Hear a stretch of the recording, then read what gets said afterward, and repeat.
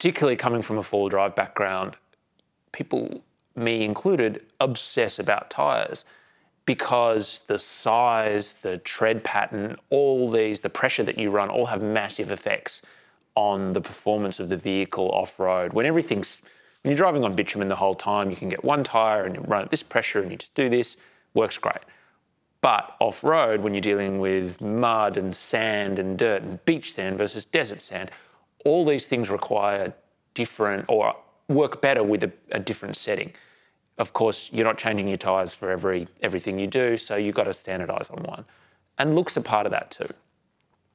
But for us, it's also a consideration, well, for every car, it's a consideration around fuel efficiency. Tyres are the thing connecting you with the ground, they're creating the rolling resistance.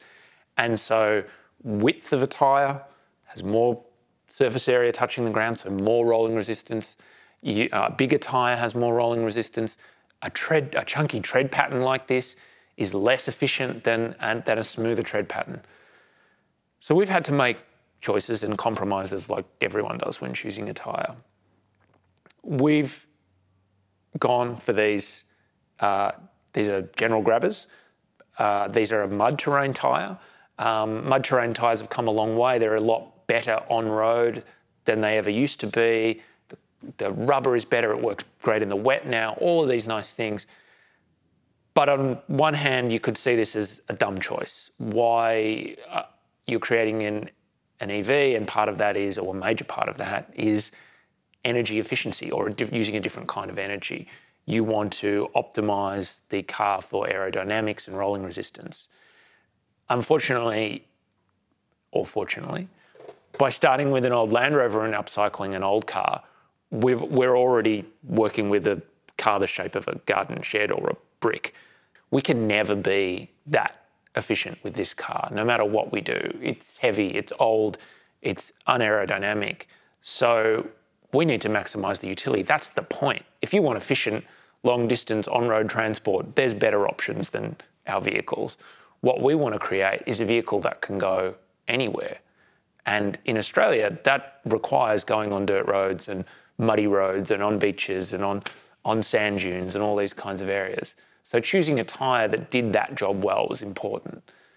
The size is also a, a key thing. These cars in the 60s, 70s came with very, very thin tyres, and that's what was available at the time.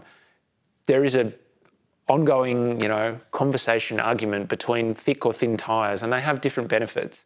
For us, we've standardised on a, you know, tyre sizes get very particular, but and are measured in strange ways. So 235, these are 235 85 R16s. The R16 refers to the size of the wheel itself, so the inner metal wheel, so that's 16 inches wide.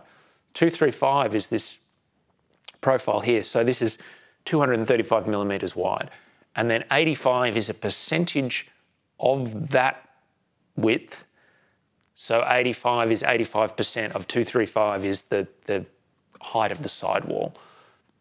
What that means is you get about a 31 inch diameter tyre and that is the standard size tyre on a modern or a modern or the, the last generation of these cars in 2015. It's also the standard size tyre on a Toyota Land Cruiser. So it's a very, very common tyre. Every Land Cruiser in a mining site in Australia is running these.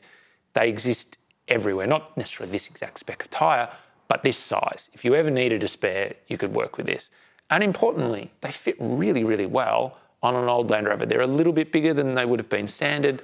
They, they're a little bit wider, but they, they feel, I don't want to say more modern, but they look more like what the car you see in your imagination is versus the sort of smaller, skinnier tyres that were originally on them. Um, modern tyres too have you know much better compounds. They, these, although these are designed for, for mud, they work great on the road, in the wet, all these kinds of things.